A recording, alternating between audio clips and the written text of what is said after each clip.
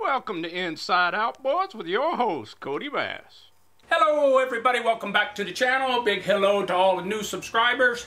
Thank you, thank you for subscribing. Um, got a few things going on right now that uh, I want to get done. In the last video we finished up the lower unit and whatever other problems was on the little Johnson there. And in this video I've got, I'm, so I'm fixing to switch those out and bring the last 15. Uh, the same person owns both of these. One. I think I might have to pull the power head on the one coming up because it's got a broke shift handle, I do believe. So I'll get these two swapped out and we'll get on that, but I want to show you some other things. A few videos ago I was working on a little Yamaha. I got me some new decals for it. New decals. And you say, which Yamaha? That Yamaha. The bonnet looks pretty bad. I ordered a latch for it. I did not have one for that style, um, which surprised me. I could have jury rigged something, but I found these little rubber tie down latches uh, on the interscreen. And so I'm going to scrape that, what's left of the old decal off there and get me some paint. First I'll rub it up with some sand demo paper. And uh, get that thing looking a little better. And because I got silver salmon season coming up. And I plan on doing a little trolling with that there motor. Well, if silver salmon's coming up, you got to do this. I'll show you. You got to do that. You got to cure up that roe. So I'm um, those pink salmon I caught. Three of those were female and had roe in them. So that's the roe being cured. And uh, it hardens up, it gets all sticky, and then you can cut it into the right size chunks and float it off the bottom or off a bobber and get them nice big silver salmon. And I like to put up, oh, about three or four of those uh, in full pint jars for making salmon patties and tuna helper type dishes and so forth. So I got got that going on. I got a there's my donor motor that I took the lower unit off of. But uh, I got to get that carburetor and a bunch of other stuff off of there. Still a lot of good stuff on that thing. So, so let me get these switched out. That Johnson. And I'll bring in the next one. I'll be right back. Boom, boom, boom, doing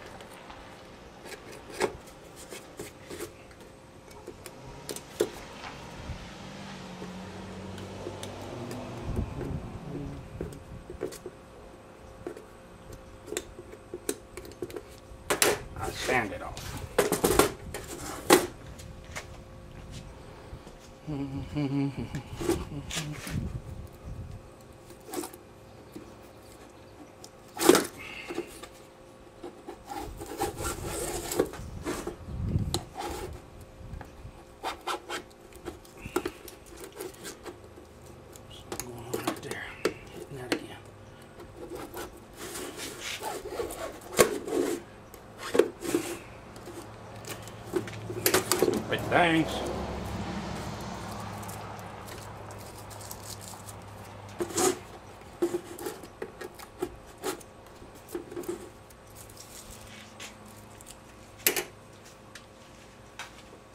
Boo, boo, boo, boo, boo.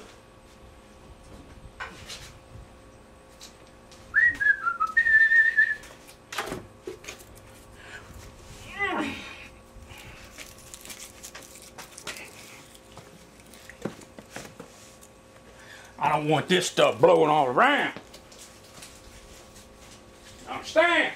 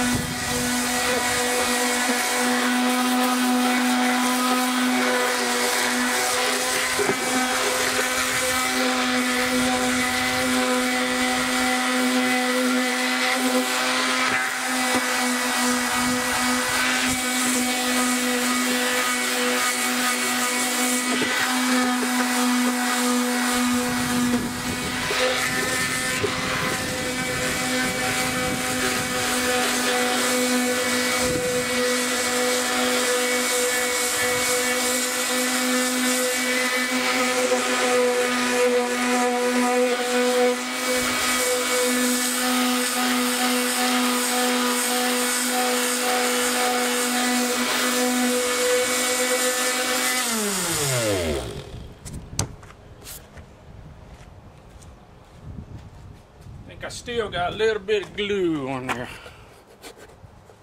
that I need to get off. Yeah. Yep.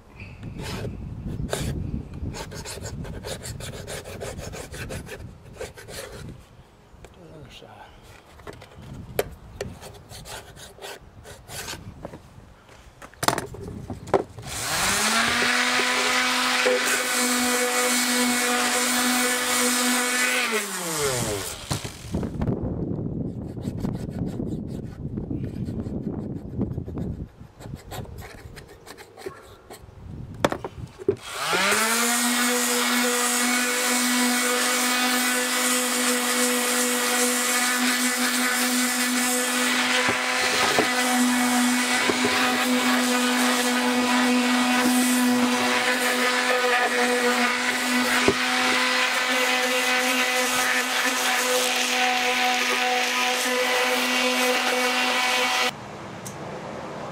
I'll show you one more thing. You remember my little Yamaha? Ha ha ha ha. I told you I got new decals and the bonnet was all bleached. So I was going to paint it up and I needed to put a transom clamp on it. So, I'm going to show you a little cutie. You want to see my little cutie? She's a cutie. Let's go. Ah! Ah! Ah!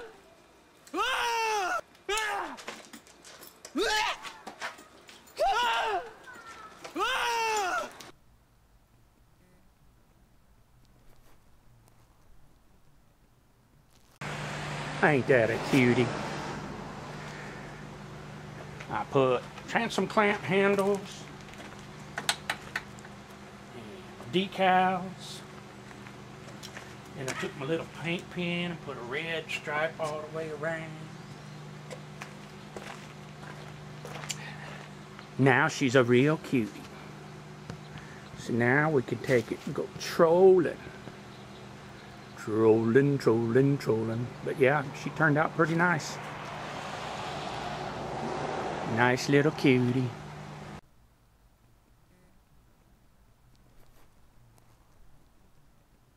Had a couple of subs asked me about my spark checkers, those spark spiders I call them. I got one that's a um, that I just used in this video is a Merc-O-Tronics uh, spark spider, and the other one's an, an Evinrude, and then I got a whole plethora of other kinds. But bef before I bought out that outboard small engine shop um, from the fella that got attacked by the bear, I'll show you what I used. And I still have it. And, and it's fine. This will do up to a six cylinder outboard.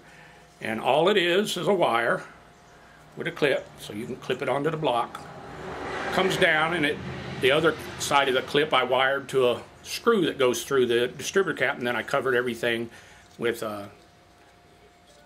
first I used JB KwikWeld and then I put uh, liquid tape on it so so I didn't get no arcing around that and then all that's inside is a big washer and the spark will jump from here to the electrode from where the spark plug wire goes so here's my homemade distributor cap multi-cylinder spark checker that I made years ago. Um, just a big washer, a couple of washers. A bolt goes through all that, a nut, then your wire, another nut, wrap everything electrical tape or whatever, and maybe a little liquid tape. And I like to hook them up on a two-cylinder opposite of each other, 180 apart. So you should see one spark. The spark will jump from the washer to the electrode, from the washer to the electrode. If I can get it to where you can see it. See where you at in there. You should be able to. You should be able to see that, I think. I don't know. That, yeah, maybe. No, you're not going to see that top one. There, that way you will.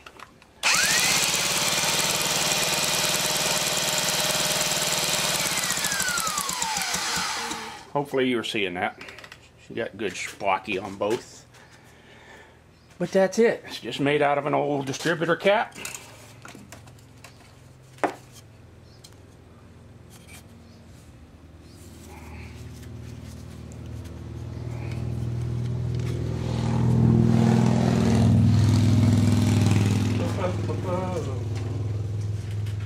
So we got sparky on both cylinders. This is engine number three. And uh, what I'm going to do is just see if the thing will run before I pull the power head. I am going to have to pull the power head to get at that gear shift, which is broke off. Okay, this is the bottom cylinder. We are zeroed out. Let's see what's we get.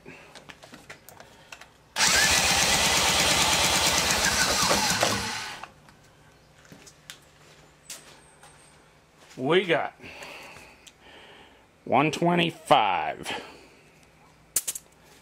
So we got 125 on the bottom.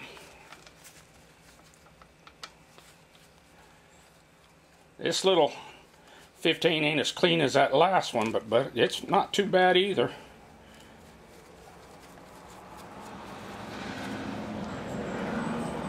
We are zeroed out.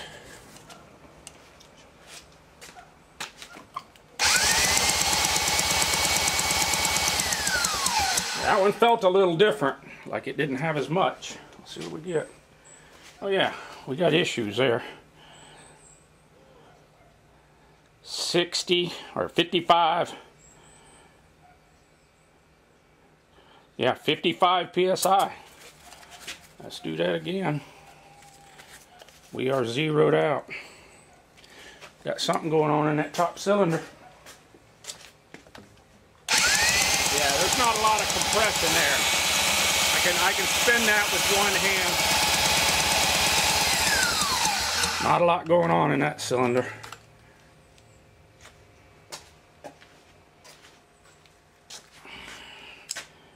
Shoot, we didn't even get 30 something that time. We didn't even get 30, we got about 25. That's weird. Let me try it one more time. Make sure my seal was sealing. We're zeroed back out. Zeroed back out. Let's see what we get. I think we got some issues.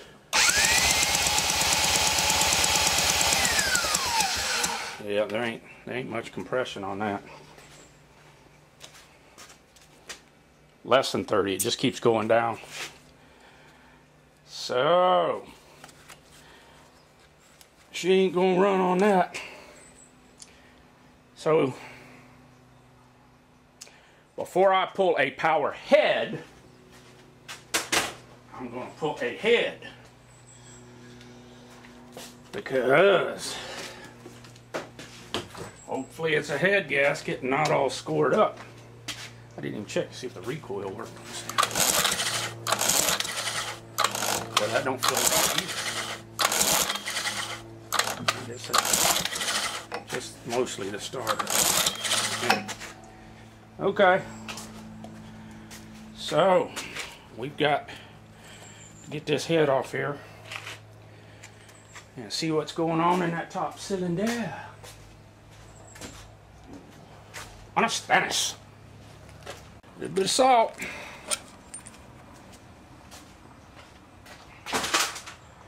Just a little bit. Of the old salt.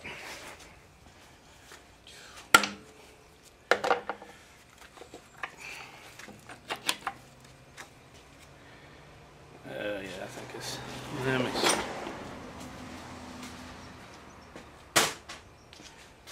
Well,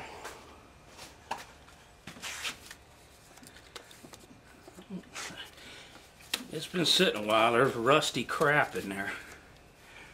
But I really ain't seeing any scoring. Let me get a rag.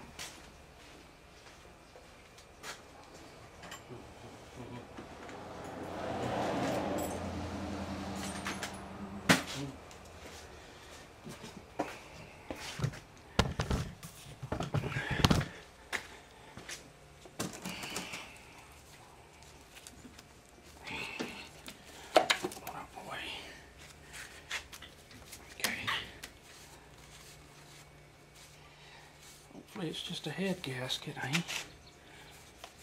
She had a little rusty water residue in it.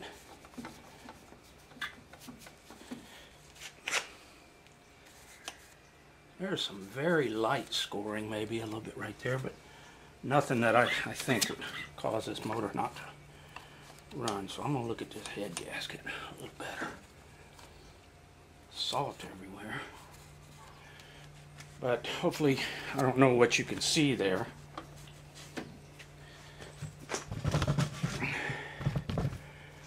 But uh, not too bad.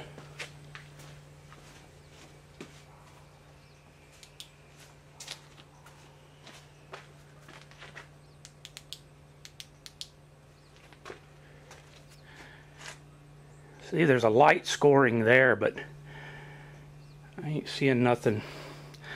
No chunks of ring or nothing. No damage on the cylinder head. Salt everywhere. Need a good cleaning. Um, let's look at this head gasket.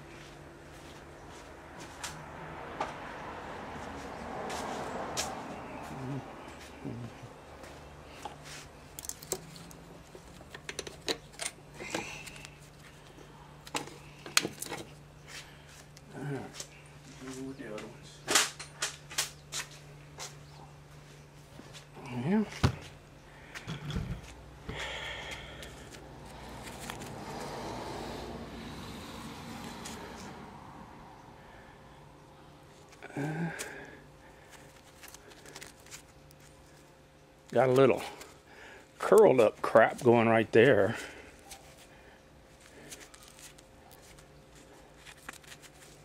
Be down on the bottom though. Oh, there it is.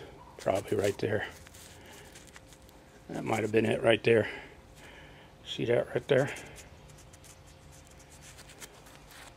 Yeah, both sides of it. So, let me see if I got another one. We'll pop that on and make sure we got compression before we go any further. I'll be right back. Okay, I've been doing a little wire brush scrubbing around here with my wire brush. I want you to watch the salt that comes out of this.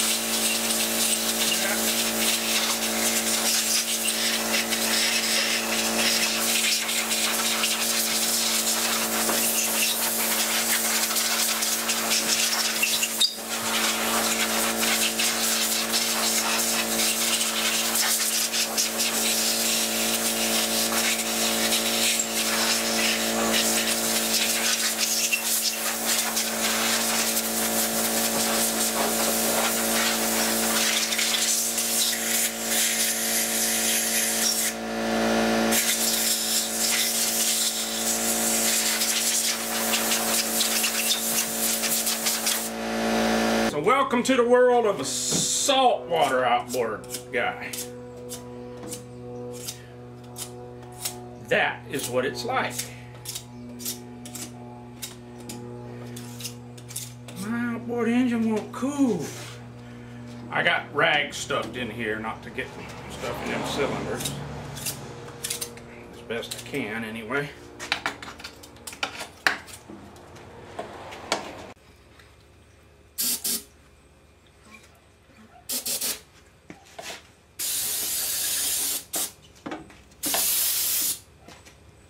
As you can see, she's looking a little cleaner now. I blew about three pounds of salt out of the daggum thing. And here's my brand new head gasket. Some more stuff out my way. What I like to do, this is the Aviation Permatex. I just like to put a light coat on on that side that goes to the to the block. Don't have to be real heavy, that's what the gasket's for.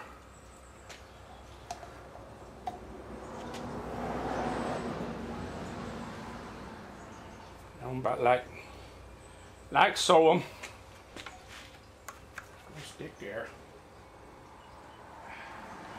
Then I put it on the actual head around everywhere. I'll clean that drop out of there, don't you worry. This bottle here is low.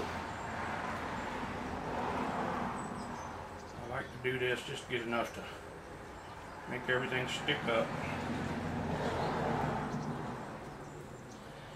And there's a million different kind of everybody likes their own stuff. I've been using this Permatex Aviation Permatex for a long time, and that's why I like it.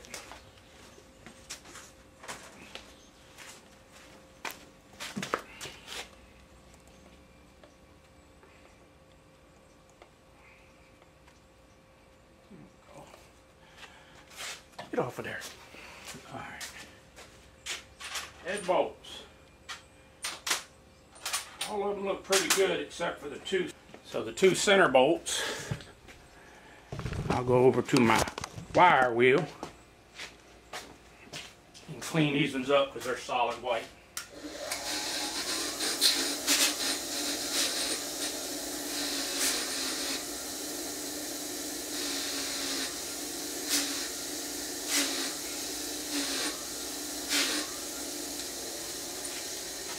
And that it never sees.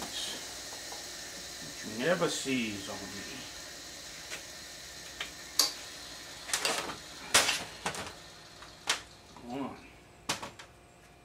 So we clean them up.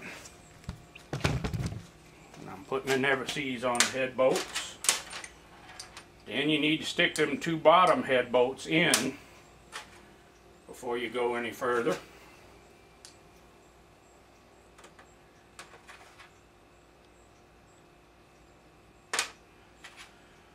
That it'll all fit in there. So grab you a couple of bolts.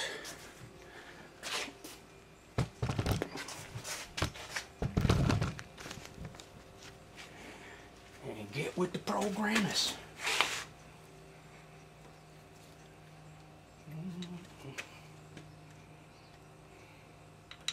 Like I said, stick the two bottom ones in. You don't have to go up with them first got to get everything else lined up.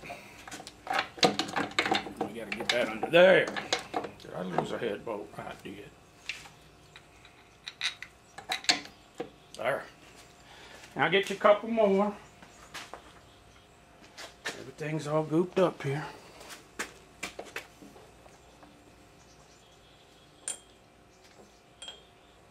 Stay put now.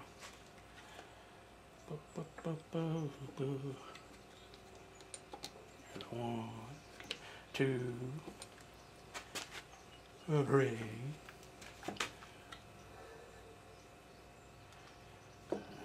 you out of my way. You out of my way.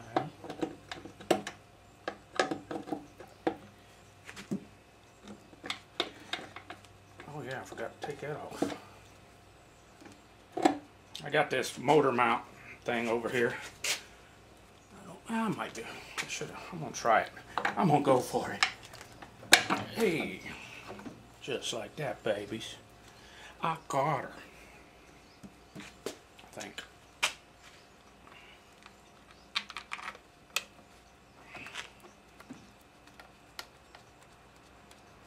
I dropped the head bolt. No, I didn't. So there. There.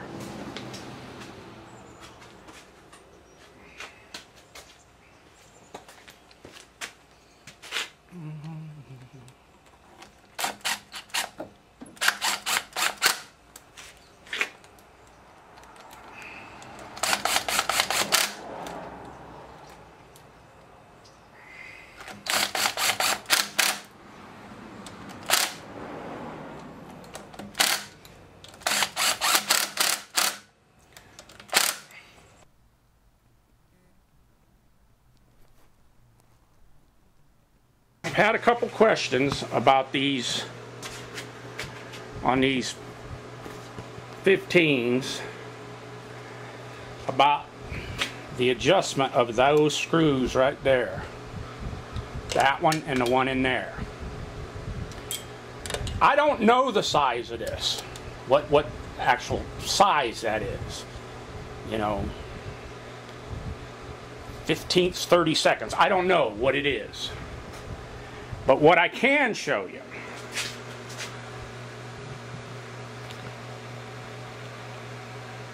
is the tool. This is the OMC tool that adjusted. It's called a ball-in hex head driver.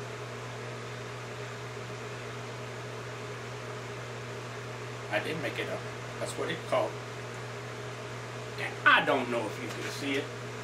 I'll show you both ways. There's the part number. I can read it to you. It is OMC 327622. Don't know if that helps.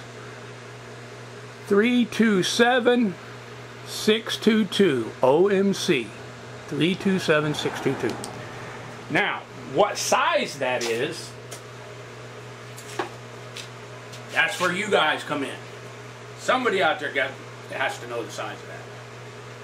Um, now, I went to the websites, to several of them, uh, marineengine.com, iBoats, Crowley, boats.net. And I asked around and I said, hey, what size is it? And I didn't really get no replies, but I can show you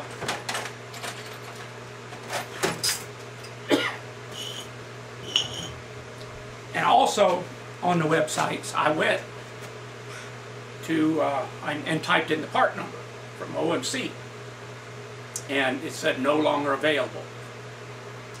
But um, here is one. It's not near as long as this one and all, but it'll get the job done, you know. And uh, it's the correct size as well. But on here, I don't think this is a size unless it's it says 764 stamped on the end. I don't think that's supposed to be 764ths or anything like that. I, think that's just their part number. And I don't know if this company's still around. It's Xcelite. X-C-E-L-I-T-E. Um, and this came in a set. You get the whole set. Um, yeah. So